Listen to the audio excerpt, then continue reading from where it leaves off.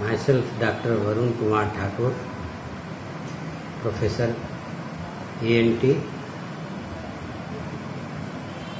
Government Medical College, Bettiya. Today I am going to talk about outline of anatomy of pharynx. Pharynx is a common passage for respir- respiratory and digestive tract. It extends from base of the skull to the sixth cervical vertebra at the level of inferior border of cricoid cartilage. In adult, it is about 10 centimeter in length. It is a fun, funnel shaped, broader at upper part. Its lower part is continuous with the esophagus, where it is the most narrow part of the digestive tract. There are pharynx entirely opens into the nasal cavity, oral cavity and larynx. So it is divided into three parts nasopharynx, oropharynx and laryngopharynx. Nasopharynx opens entirely into the nasal cavity.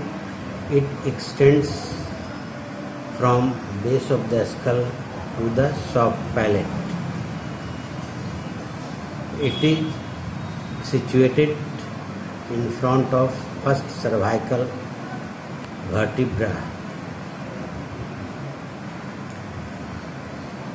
Adenoid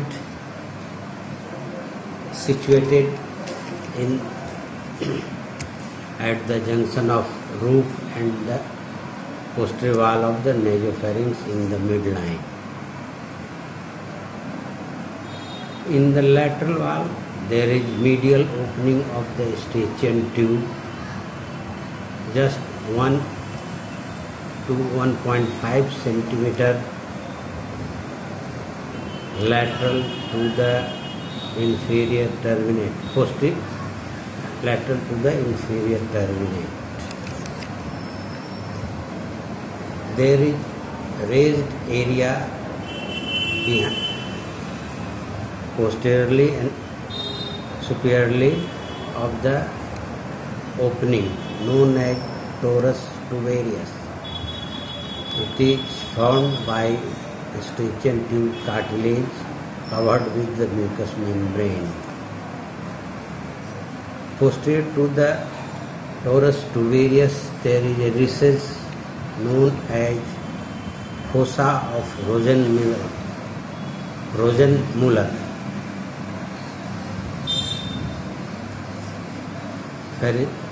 This is the most common site of nasopharyngeal cancer. Oropharynx. Anteriorly it opens into the oral cavity. Posteriorly it lies in front of second and third cervical vertebra. Above is soft palate, below is upper border of epiglottis. On the la- lateral wall of the oropharynx, on each side, palatine tonsil is situated, which is covered entirely by palatoglossus palatoglossus muscle known as anterior faucial pillar posteriorly it is bounded by posterior faucial pillar it is form by the muscle palatopharyngeus laryngopharynx opens entirely into the larynx above each upper border of epiglottis, below lower border of cricoid cartilage. On each side, the piriform fossa. Piriform fossa bounded entirely, bounded medially by aryepiglottic fold, laterally by thyroid cartilage and thyroid membrane. A space between the base of the tongue and epiglottis is known as vallecula.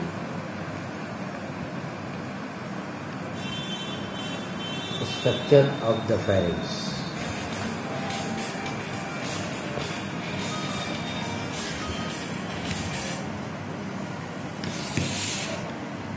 It is a fibromuscular tube containing four layers. First, innermost layer is mucous membrane, pharyngeal aponeurosis, muscular coat, and buccopharyngeal fossa. Mucous membrane. Three types of mucous membrane First is ciliated epithelium up to the upper half of the nasopharynx. On the rest of the part, stratified squamous epithelium. At the junction in between the two, there is transitional epithelium. There are there is scattered collection of lymphoid tissue in the subepithelial layer of the pharynx. These are collectively known as Waldeyer's ring. Waldeyer's ring having palatine tonsils, nasopharyngeal tonsils, lingual tonsils, tubular, tubal tonsils, lateral pharyngeal bands, discrete nodules over the posterior pharyngeal wall. Palatine tonsil is situated on the lateral wall of the oropharynx. It is covered by mucous membrane there are 12 to 15 crypts over the medial surface of the tonsils. Largest crypts known as crypta magna. Tonsil is separated from the superior constrictor muscles by loose connective tissue known as capsule. Tubal Nasopharyngeal tonsil is situated at the junction of roof and posterior wall of the nasopharynx in the midline. It is single. It has got 4 to 6 folds vertical. It has got no capsule. Lingual tonsil situated in the over the base of the tongue. Tubal tonsil is around the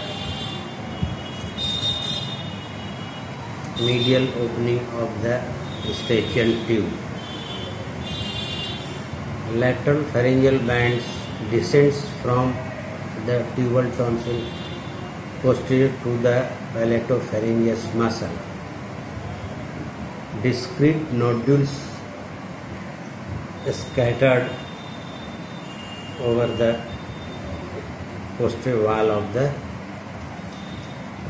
pharynx. Second layer is pharyngeal aponeurosis. Incomplete connective tissue coat in the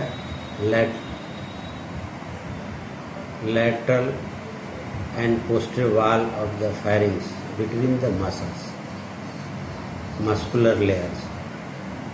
It gives a strength to the pharynx.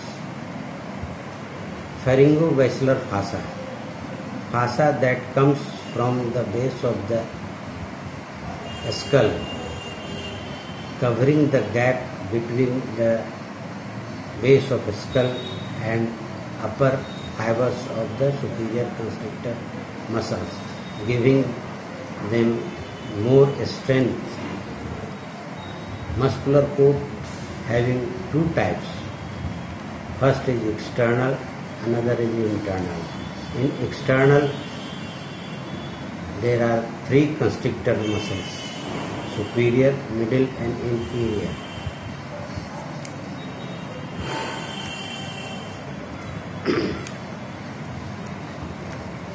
Internal muscles of the pharynx are stylopharyngeal, stylopharyngeus, salpingopharyngeus, and palatopharyngeus.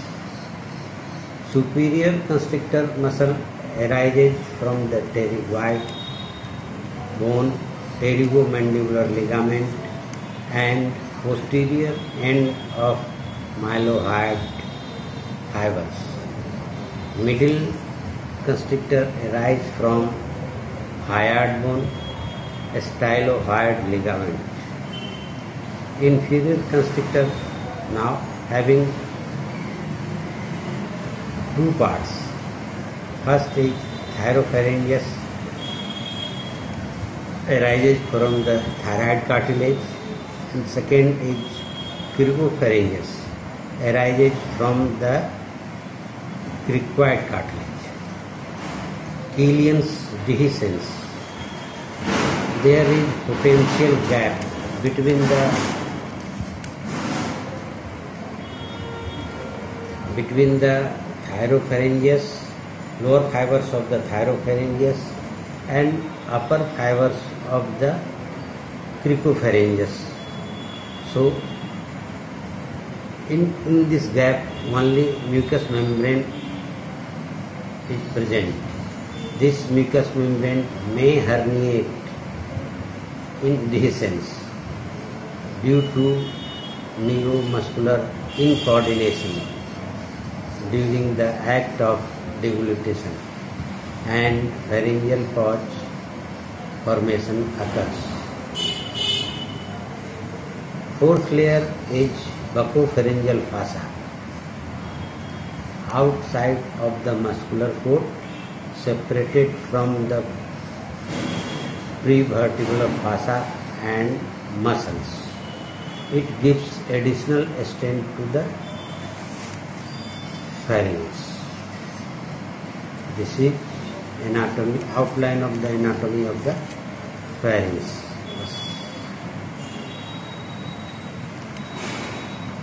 बस